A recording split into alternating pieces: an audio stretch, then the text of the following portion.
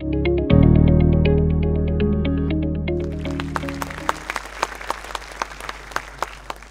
my name's Paul, and this is the Nazywam front page. Paul i To jest slajd ze strony HLM. Proszę zobaczyć, co my tutaj mamy. Jedna drużyna, jedna misja, jeden etos, jedna wizja. Brakuje jeszcze me, piosenki zespołu Queen, żeby wszystko się zgadzało. Moja uh, odpowiedzialność. W HLM, a mamy sześć 200 biur w Wielkiej Brytanii i trzy międzynarodowe. e, 160 Kilkuset pracowników, e, około 60 is that, ekspertów um, technicznych. I czym ja się zajmuję? Otóż muszę mieć pewność i muszę dopilnować, by każda z osób pracujących w naszych biurach, niezależnie od tego, czy jest to w Wielkiej Brytanii, na Bliskim Wschodzie, czy też w Afryce Południowej, muszą być w stanie pracować przy każdym projekcie równolegle w tych wszystkich biurach. Za każdym razem, jak patrzę na ten slajd, to sobie myślę, że no niesamowite to jest, że te kraje tak daleko oddalone od siebie mogą współpracować. Kiedyś wykorzystywaliśmy taki program CAD, 2D CAD program najlepszy program CAD my 2D, view. moim zdaniem, który kiedykolwiek powstał, uh, nazwie Japan. MicroGDS, produkcji japońskiej. Wiele dobrych rzeczy powstaje w Japonii, trzeba przyznać. Natomiast 10 years ago, I Chyba z think, 10 lat temu odeszliśmy już od tego programu. I to było naprawdę spektakularne przejście. Kiedyś pracowaliśmy jako jeden zespół tylko w Wielkiej Brytanii oraz tutaj, tak jak na animacja wskazuje, w RPA. W long Johannesburgu mieliśmy właśnie biuro, tam mieliśmy długą relację ze spółką, która w końcu stała się częścią naszej spółki. Wymienialiśmy się the, plikami, um, uh, wysyłaliśmy linki w VPN, chyba and, wtedy, uh, między Sheffield a między Johannesburgiem. A pozostałe biura 2D były powiązane, no i pracowaliśmy właśnie w tym um, otoczeniu quite 2D, MicroGDS. Um, Całkiem sprawnie. 2005, W 2005 this would have been roku uh, To prawdopodobnie jest pierwszy wirtualny projekt przy użyciu Uh, time in 3D. ale tutaj już widzimy Um, 3D. on a project which was To jest projekt, um, y, uh, liceum W mieście. Sheffield w Wielkiej Brytanii. A 3D inżynier, konstruktor Brał udział 3D w tym procesie. Wymienialiśmy się takimi plikami creative, uh, 3D, any use of IFC. Virtual I Building. I I ten slajd naprawdę bardzo lubię. Pokazuję go nawet przyjaciołom i rodzinie, bo na kolejnym pokażę um, Państwu kolejny problem, który wiąże się z tego rodzaju. Proszę zobaczyć, tu mamy pierwszy slajd. Proszę zobaczyć. I drugi raz, kiedy otrzymaliśmy model. Proszę zobaczyć, jakie zmiany zaszły. No dobrze, at ale co, czy to w ogóle jest BIM? Czy można to oprogramowanie nazwać poziomem level two? 0 What is w oprogramowaniu BIM? 3D virtual building. Czym są takie budynki Um, wirtualne we 3D? Have full 3D coordination, Mamy, mieliśmy pełną koordynację linked 3D, information, wizualizację, zlinkowane informacje, wspólny ekstranet. To może w zasadzie są to te same zasady, które przyświecają poziomowi pierwszemu BIM. Można by się zastanowić. Um, um, Dalej. uh, Wymogi dotyczące informacji udzielanych przez pracodawcę otrzymywaliśmy tego rodzaju arkusze, które trzeba było wypełniać danymi, przesyłać.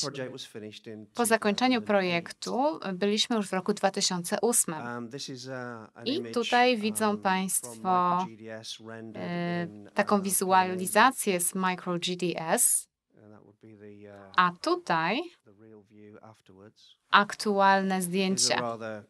Uh, Nic ciekawego, to zdjęcie nie jest jakoś szczególnie pasjonujące. W tamtym czasie uh, byłem całkiem possibilities podekscytowany taką możliwością, którą, które się otwierają dzięki programowi. Zastanawiałem się, a gdybym mógł zabrać takie urządzenie na miejsce, jakieś takie przenośne, czy może nawet gogle, I gdybym mógł tam na miejscu ocenić stan postępu robót um, budowlanych i the 3D może nałożyć jeszcze na to ten model top of the 3D, view that was in front of na ten widok, który rysuje się przed moimi oczami. I proszę zobaczyć, tutaj mamy 10 years właśnie ago. z 10 lat wcześniej tego rodzaju oprogramowanie. Zadzwoniłem do kolegi, kolegi, który był "It's również wynalazcą i powiedziałem mu, słuchaj, musimy to opatentować. To jest świetny millions." pomysł. Myślę, że zbije na tym fortunę.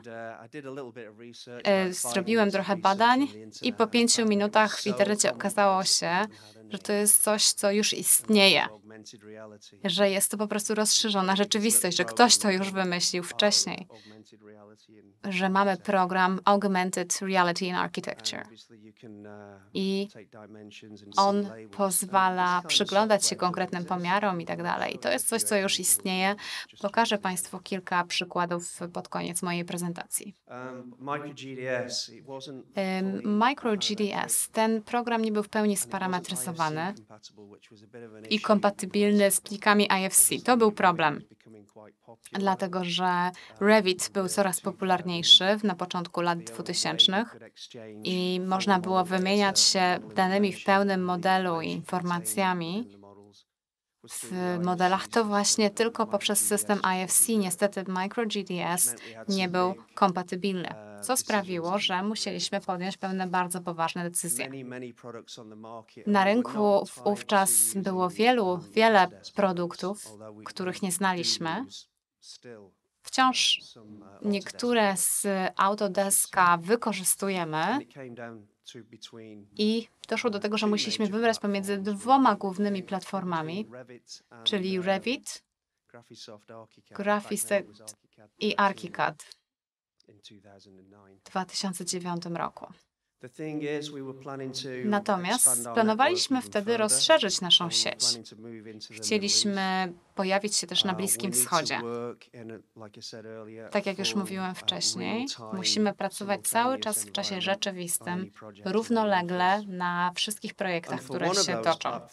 I dla jednej z tych platform okazało się, że koszt był naprawdę astronomiczny, że trzeba było mieć serwery w każdym biurze osobno,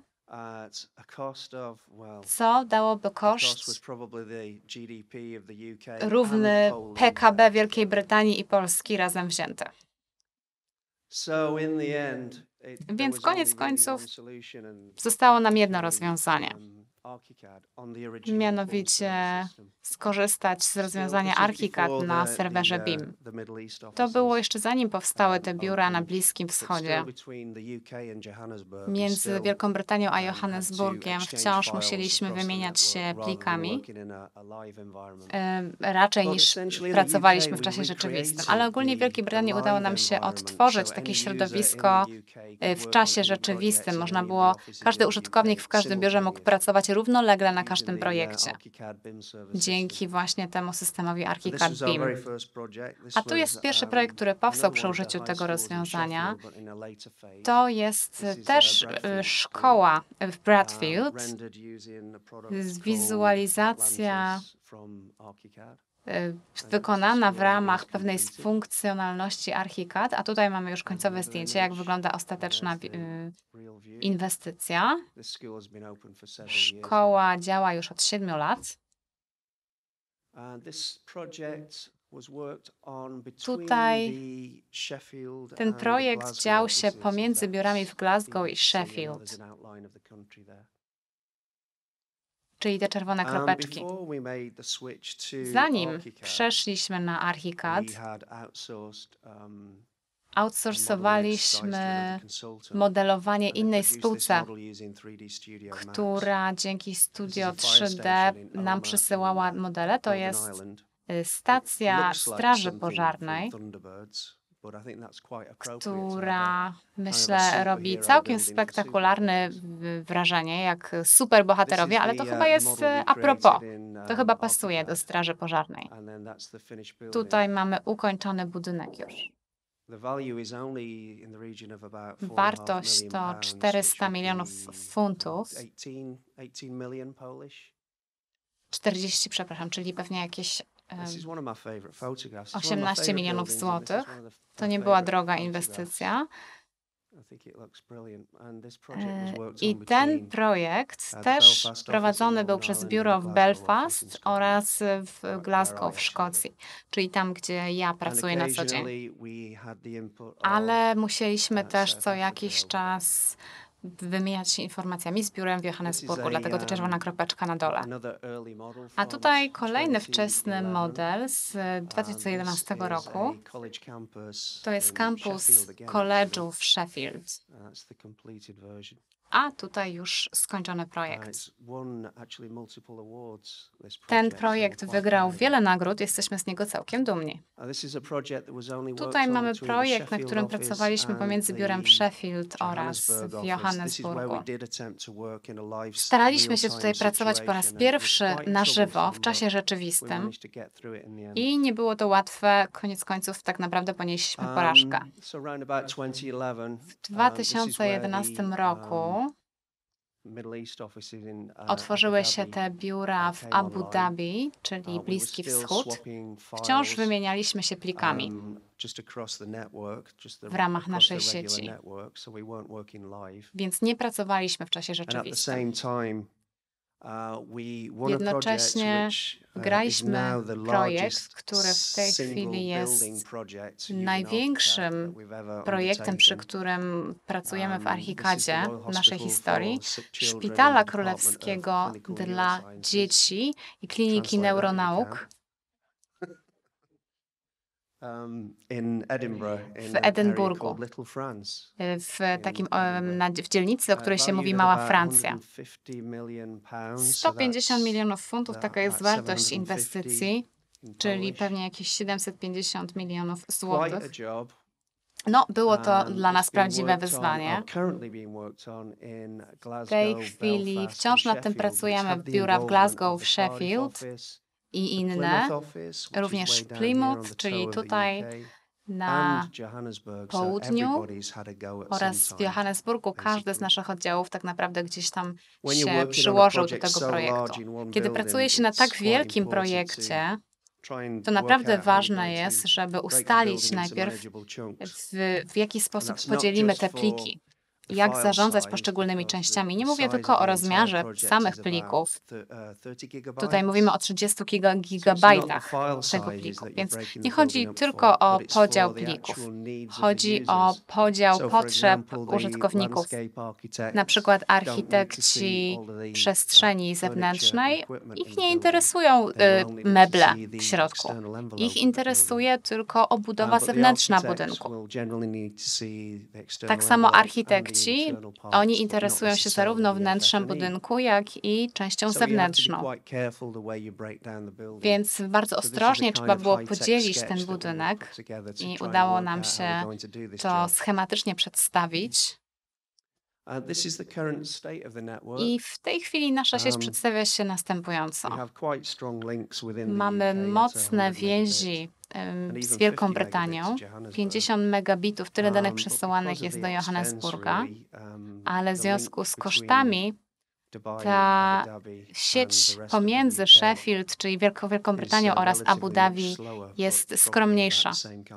E, choć very prawdopodobnie jest warta tyle samo. To jest naprawdę bardzo drogie, um, droga usługa. in 2013 Zapewnić kontakt w czasie rzeczywistym między tymi uh, biurami. Tutaj mamy system e, w chmurze, um, BIM Cloud, który polega na tym, że z jednej strony tak jakby pracujemy lokalnie, mamy tak zwane serwery proxy, czy each Delta Cache w każdym biurze, które obsługują transakcje resides. transgraniczne. Większość naszych um, projektów system obsługuje właśnie ten system BIM Cloud w tej chwili. W czasie rzeczywistym. To jest otoczenie w czasie rzeczywistym nawet w Johannesburgu oraz biura na Bliskim Wschodzie. To była historia na temat e, naszej spółki i versus BIM, a teraz Uh, chciałem przejść do poziomu drugiego i dalej. Mam nadzieję, że nie zirytuję poszczególnych mówców, ponieważ będę mówił rzeczy, które niekoniecznie zgadzają się z tym, co powiedziane było wcześniej. Jeśli tak się stanie, to bardzo Państwa przepraszam, proszę się na mnie za bardzo nie denerwować. 2015, December E, w 2015, 2015 roku w grudniu HLM Dostał ten poziom Establishment, drugi BIM dzięki certyfikacji wykonanej przez e, spółkę BRE, Business 2005, Certification Scheme. Dalej dołączyliśmy również do e, Smart. Building, organizacji, która e, jest sojuszem tego rodzaju spółek budujących inteligentne budynki. Zakładam, że ta organizacja, uh, która będzie w Polsce, też stanie się częścią tego zrzeszenia Building Smart. Natomiast jesteśmy 2008, wciąż w Londynie w so 2008 this roku. Czyli to jest czas, kiedy nasz rząd jeszcze nie dał nam konkretnych standardów. Ja wtedy byłem właśnie w watching Uh, i patrzyłem, jak tworzy się ten model, model dojrzałości BIM, który Państwo widzieli już wcześniej. I U góry mamy pytanie, gdzie jesteśmy. Na czerwono oznaczone jest, gdzie byliśmy 2008. właśnie wtedy, w Had absolutely 2008 nothing to do roku.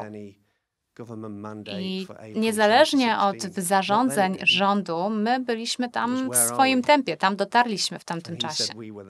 I BIM level 2. byliśmy już na poziomie BIM 2. The definition for BIM level 2 Definicja BIM released 2 until the Ukazała się tak naprawdę 2013. dopiero w 2013 This is roku, co ciekawe, czyli 5 lat później. A my już w 2008 Also- roku tam byliśmy. 2017. 2017 rok, proszę zobaczyć, 2008, co się zmieniło. To jest 2008, 2017. a to 2017. Well, it's actually the same. The BIM maturity Zasada jest ta sama. Ten model dojrzałości BIM jest taki sam, natomiast teraz mamy również powiązane grupy standardów brytyjskich, które BS1192, przyjęto dla poszczególnych poziomów BIM. 2007. Choć sam ten e, wykres powstał już w 2007 roku. And then you have the PAS Mamy um, 1192, 2013 specjalne standardy z 2013 which roku. as Standard, który definiuje BIM na poziomie 8541 drugim, PAS um, 1192, which write all about, dokumenty um, BS, uh, w których jest mowa o uh, symbolach i o obiektach, poziomach That's 8541. szczegółowości i tak To wszystko jest w tych standardach. Naprawdę zalecam. Państwu zapoznanie się z tymi dokumentami. Bardzo ciekawa lektura. Tak naprawdę niewiele się zmieniło. Um, Mówimy w Wielkiej Brytanii dość często, że przesuwamy sobie dalej bramkę.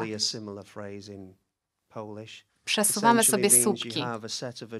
Chodzi o to, że mamy konkretne cele, a potem nagle zmieniają się reguły. Okazuje się, że bramka przesuwa się dalej Jest coraz mniejsza. i coraz trudniej jest do tej bramki utrafić. Um, posuwamy sobie coraz wyżej poprzeczkę. I tutaj pozwoliłem sobie na własną wizualizację Um, i ona is the odwołuje się do metafory, piłki nożnej, a jednocześnie jest to nałożone na ten wykres dojrzałości BIM.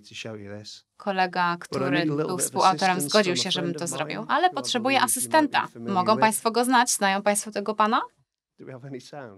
Poproszę o dźwięk. BIM level zero, I think we've got BIM that one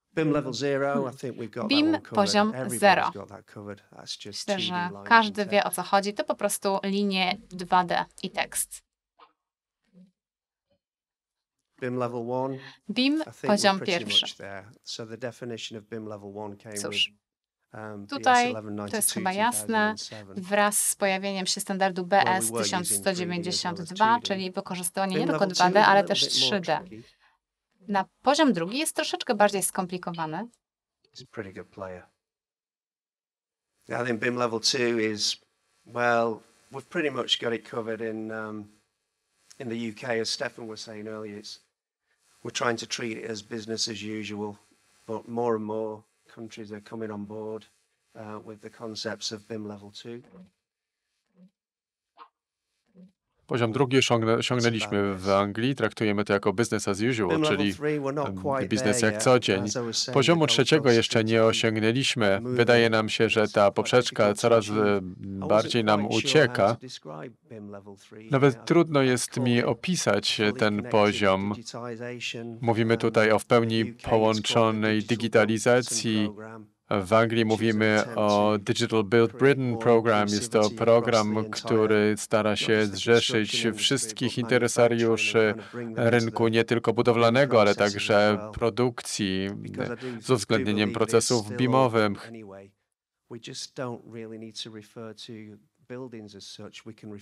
Już na tym poziomie nie będziemy musieli mówić o budynkach, tylko o całej infrastrukturze.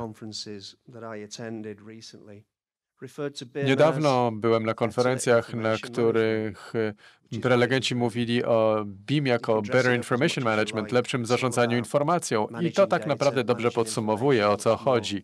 O dużo lepszym, chodzi o dużo lepsze zarządzanie informacjami.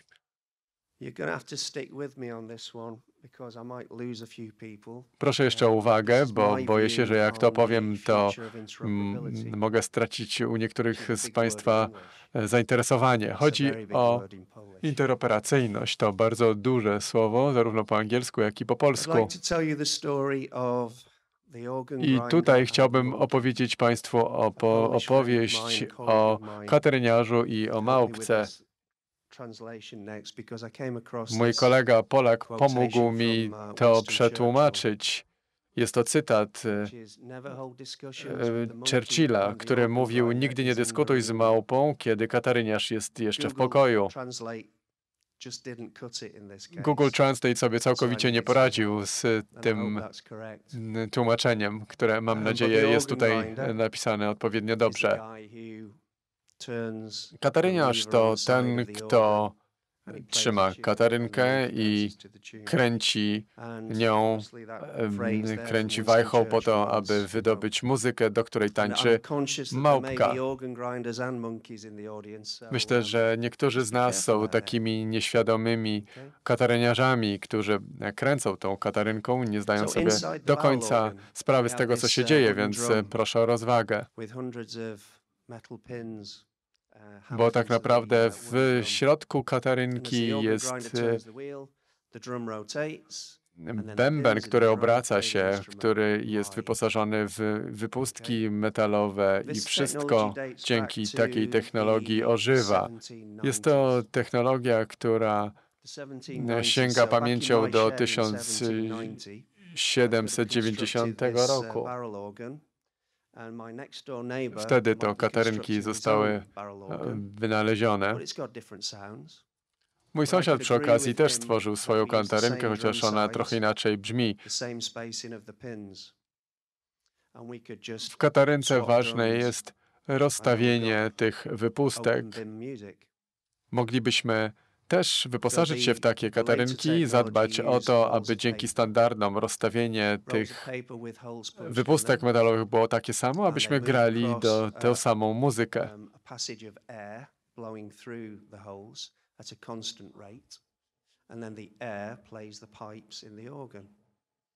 And you can see there's an open standard here. Tutaj także możemy zamieszczać różne bębny po to, aby produkować muzykę taką, którą chcemy.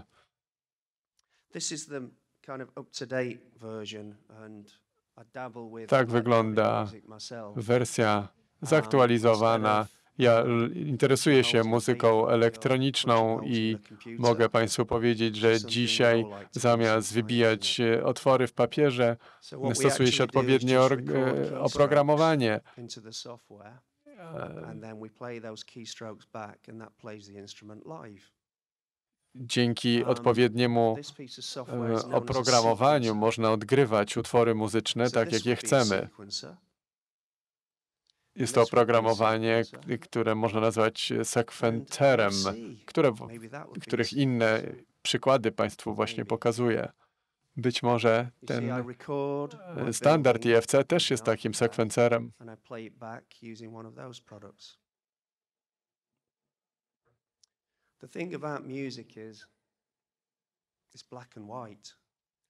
W muzyce jest tak, że nuty zapisywane są na białym tle, na czarnej pięciolinii, za pomocą różnych notacji, opartych o bardzo proste zasady. a, IFC to plik tekstowy, który opiera się przecież na podobnych zasadach synchronizacji odpowiednich standardów. Więc myślę, że. Nie mówimy tutaj o prawdziwie otwartym BIM, bo prawdziwie otwarty BIM, OpenBIM, wyglądałby tak, jak tutaj przedstawiam. Mówię tutaj o projektowaniu algorytmicznym. Jest to zwrot, zwrot e, wymyślony gdzieś w laboratorium. Ja bym raczej mówił o dynamicznej interoperacyjności albo o BIMie w czasie rzeczywistym. Tak wyglądałby prawdziwie otwarty ArchiCAD, BIM. Na górze widzimy we a mm, po drugiej stronie mamy. ArchiCAD, a na górze oprogramowanie, które nazywa się Grasshopper, konik polny. Zmieniając elementy konika polnego, możemy widzieć zmiany, które pojawiają się w Archicadzie w czasie rzeczywistym i w Rhino. A więc zmiany wywołane przez jeden element są propagowane. uh. Istnieje wiele platform i ważne jest, żeby one współgrały ze sobą i porozumiewały się odpowiednio. Być może jeszcze taki scenariusz szybko nie zagości w naszych biurach. Chociaż e, podobne oprogramowanie jak Grasshopper zostało stworzone w zeszłym roku. Fuser już istnieje od kilku lat, a dopiero od kilku lat zaczynamy wdrażać niektóre jego funkcje. Widzieliśmy The widzieliśmy Revit, po lewej stronie, po prawej stronie widzimy Fusor. Kilka tygodni temu brałem udział w webinarium prowadzonym przez taką panią z Hongkongu. I ta przedstawicielka Fuser podniosła Archicad mebel za pomocą oprogramowania. Archicad i przestawiła no e, ten mebel e, gdzieś, e, mm, gdzieś w inne miejsce, nacisnęła guzik. Odśwież i w czasie rzeczywistym e, ten mebel został przeniesiony także w innym oprogramowaniu. To było naprawdę niewiarygodne. So you can move the tables and chairs around in Fuser. W Fuserze można przestawiać meble i ta zmiana zostanie uh, natychmiast naniesiona w recently Niedawno też z- widziałem oprogramowanie Revisto, które już jest e, w użyciu, które opiera się na współpracy zespołowej. Ono łączy funkcje Revita i Archicada. Można Z platformy BIM ładować, zamieszczać różne real modele w chmurze uh, po to, aby pracować nad nimi właśnie w chmurze w czasie rzeczywistym. Pan Tomasz wcześniej mówił o Graphisoft BX, uh, much, much które jest neater wyposażone w bardzo ciekawy uh, interfejs, bardzo interesujący sposób przedstawiania danych. A więc widzą Państwo tutaj różne E, s- formy przedstawiania treści, które na początku były rozdzielone i po 220 latach 220 od początku tej, tego podejścia widzimy ponowną unifikację i wracamy do początków dzięki technologii OpenBeam. Thank you.